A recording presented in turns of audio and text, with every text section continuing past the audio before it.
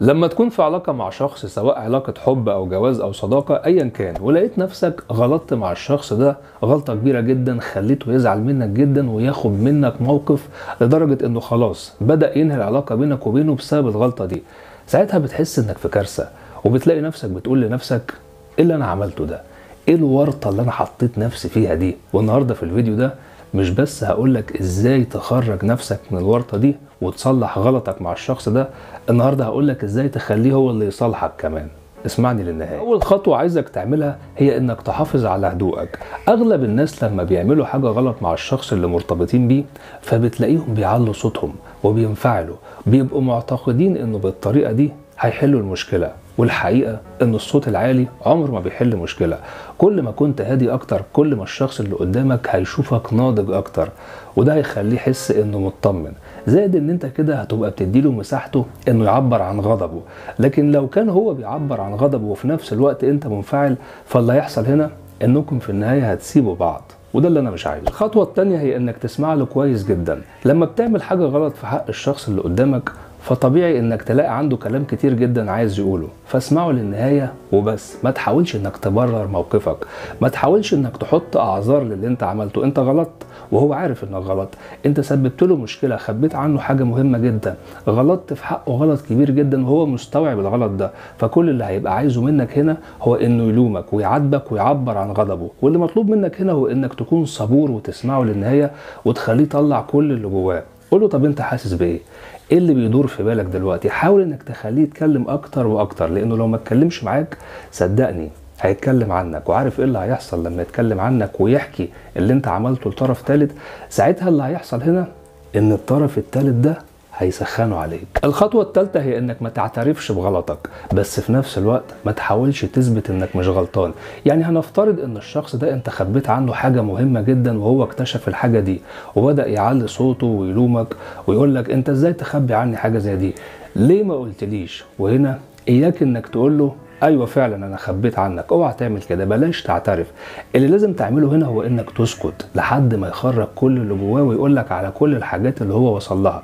وبعد كده تعامل معاه عادي جدا وفهمه قد إيه أنت بتحبه قد إيه أنت مهتم بيه قد إيه أنت عايز مصلحته. هو ده الشيء اللي انت لازم تركز عليه في الموقف ده وده اللي هيخليك تعدي الموقف ده بشكل أسرع لأن انت كده هتبقى بتسمعه الكلام اللي هو محتاج يسمعه في اللحظة دي. هو في اللحظة دي مش عايز اعترافك هو عايز يطمن لك فكلامك ليه بإنك بتحبه وإنك مهتم بيه هو اللي هيطمنه مش اعترافك. اعترافك هيخليه يحس إنه مش لازم يثق فيك مرة تانية وده اللي إحنا مش عايزينه. تمام يا دكتور. هنفترض إن أنا حافظت على هدوئي وبعدين سمعت له كويس جدا للنهاية وما اعترفتش بغلطي إيه اللي هعمله بعد كده؟ هتعمل الخطوة الرابعة ودي أهم خطوة وهي إنك تفكره بحاجة غلط هو عملها معاك قبل كده وأنت سامحته فيها.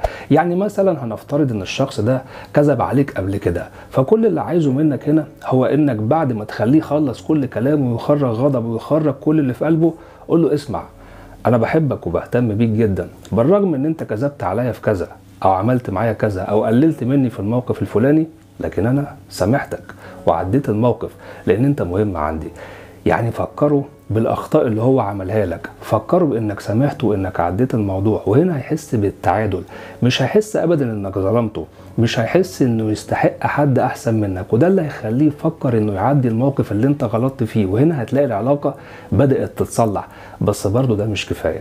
عشان كده لازم تعمل الخطوة الخامسة وهي إنك لازم تعوضه عن الغلطة اللي أنت غلطتها في حقه بإنك تحسسه بالتعويض والحاجة دي هتكون عبارة عن هدية خروجة معينة أو كلام حلو أو دعم نفسي لازم تعمل للشخص ده حاجة حلوة جدا هو مش متعود عليها منك. يعني مثلا نفترض إن الغلط اللي عملته مع الشخص ده هو الاهمال هو إنك كنت بتهمل الشخص ده اللي لازم تعمله هنا هو إن أنت تبدأ تهتم بيه جدا أكتر من المعتاد وده هو اللي هيخليه يحس إنك اتغيرت بجد. والشيء الوحيد اللي ممكن يخلي أي شخص يستمر معاك في علاقة بالرغم من إنك غلطت في حقه أو جرحته هو إنه يحس فعلا إنك اتغيرت. لما يلاحظ إنك بدأت تتغير صدقني هينسى الموضوع تماما. أما الخطوة الأخيرة اللي هتخلي الموضوع يتصلح بينك وبينه تماما هي إنك لما تكون غلطان في حقه وتلاقيه عايز يعاقبك وافقوا على أي عقاب. يعني مثلا لما تلاقيه بيحاول إنه يعلي صوته عليك أو يكلمك بطريقة وحشة جدا أو لقيته بيحاول إنه ينسحب من العلاقة أو ينهي العلاقة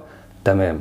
خليه يعمل كده. خليه يعمل كده من غير ما تقاوم. لما تلاقيه بدأ يعاملك بشكل مش كويس سيبه يعاملك بشكل مش كويس. كل ما سبته ينفذ عقابه عليك بشكل أسرع كل ما العلاقة رجعت بشكل أسرع. لأن فكرة إنه ينفذ عقابه عليك بسرعة جدا وأنت موافق على كده وما عندكش مشكلة في كده فده هيخليه يحس بشعور مهم جدا.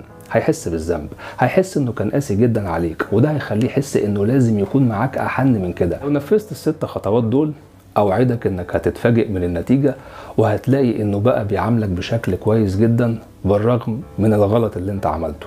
والعلاقة بينكم رجعت زي الأول وأحسن كمان.